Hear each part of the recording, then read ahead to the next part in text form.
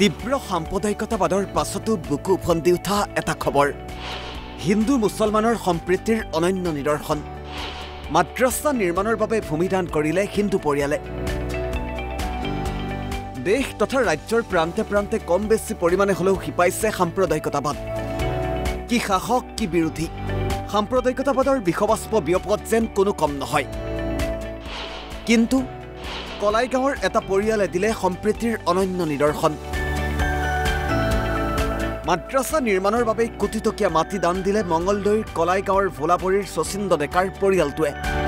মোৰ নাম শচীন ডেকা আজি এই শুভ দিনত ভূমিদানৰ কাৰণে মই বহু দিনৰ পৰা ভাবি আছিলোঁ আৰু মাদ্ৰাছা নামত মাটি কম হোৱা বুলি শুনি পাই মানে মই অতি আনন্দেৰে মই মাটিখিনি দান কৰি মোৰ মানে জীৱনটোৰ কাৰণে এটা সুফল হ'ব বুলি ভাবি এই কামখিনি কৰিলোঁ। এই এক কথা অলপ বেছিয়ে হ'ব আৰু ইয়াৰ পাছতেই এইদৰেই ভোলাবৰীৰ শচীন্দ্ৰ ডেকাক উষ্ম আদৰণি জনোৱা হয়।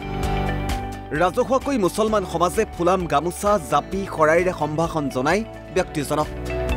আৰু শচীন্দ্ৰ ডেকাৰ এই কাৰ্যই প্ৰমাণ কৰিলে এতিয়াও যে সমাজত জীয়াই আছে প্ৰেম ভালপোৱা আৰু ভাতৃত্ববোধ। এই বৃহৎ এলেকাৰ ৰাইজে তাৰমানে আজি বৰ মানে আনন্দৰ দিন বুলি আজি এটা মানে আমি চিন্তিত কৰিছোঁ।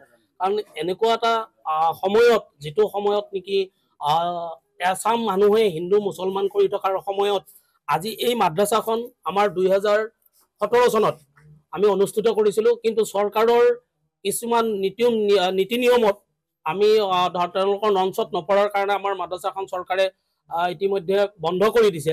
আমাৰ মাটি অকণমান কম আছিলে।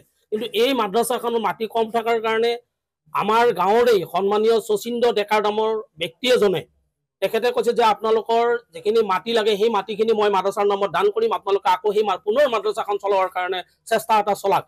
এই কথাখিনি কৈ তেখেতে আজি আমাক তেখেতৰ যি খেতি কৰা মাটি সেই খেতি কৰা মাটিখিনি আজি মাদ্ৰাছাৰ নামত দান কৰিছে। গতিকে মই এই সময়তে বা আপোনালোকৰ জৰিয়তে মই তেখেতক মানে আজি এনেকুৱা যে ভগৱান তুল্য বুলি ক'ব পাৰি তেখেতক। যে তেখেতে আজি এটা এনেকুৱা নিদৰ্শন দাঙি ধৰিছে।